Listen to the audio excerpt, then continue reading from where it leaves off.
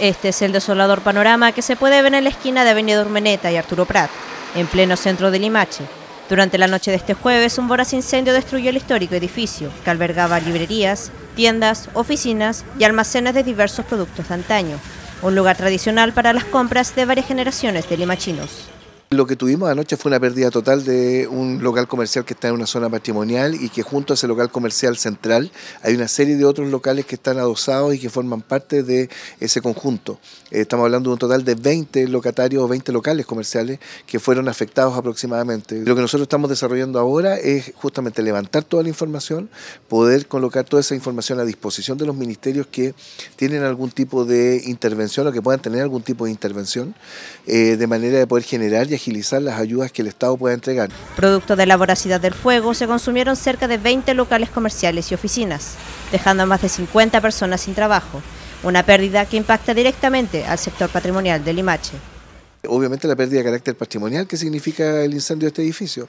Eh, hace muy poco hubo una declaratoria de zona típica. Bueno, ahora es donde a uno le gustaría ver que el Ministerio de la Cultura eh, genere algún tipo de apoyo particular, porque aquí no se trata solo de tener un título nobiliario o algún título que te permita tener una característica especial. Uno esperaría que ante este tipo de situaciones el Estado también pueda prever eh, el cómo poder recuperar un inmueble y cómo poder evitar que se pierdan las características de esta zona. El incendio comenzó alrededor de las 22 horas este jueves por la calle Prat.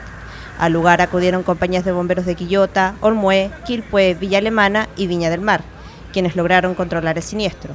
Sin embargo, las llamas consumieron casi la totalidad del patrimonial inmueble, dejando solo escombros y a decenas de personas sin sus fuentes laborales.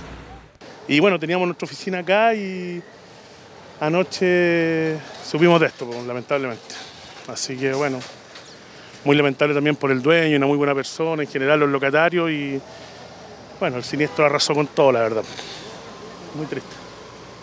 En general este es un lugar muy tranquilo para trabajar, muy bueno, estratégico, porque está al lado del metro, entonces la verdad es que quizás eso es lo que más da pena y lo que te decía recién, pues las cosas materiales se pueden recuperar, pero ahí hay unas cosas de mis hijas y eso es lo que uno siente más en general. Pero bueno, a Dios gracias estamos bien de manera personal y, y no podemos lamentar ninguna vida ni accidente, así que eso para nosotros igual es bueno también decirlo. Hasta el momento se investiga dónde se inició el fuego. Existen varias hipótesis al respecto, sin embargo nada ha sido confirmado aún. En el lugar durante la mañana de este viernes aún existían algunos puntos calientes que continúan bajo el control de bomberos.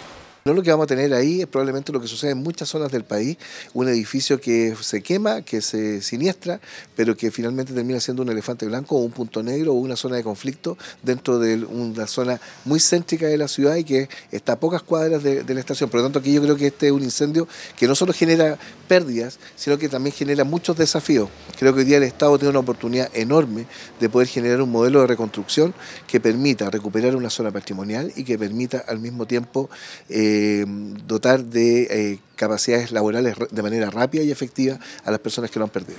El edificio fue construido en 1872 y tenía 12 locales comerciales que eran tradicionales para los vecinos y vecinas de la zona.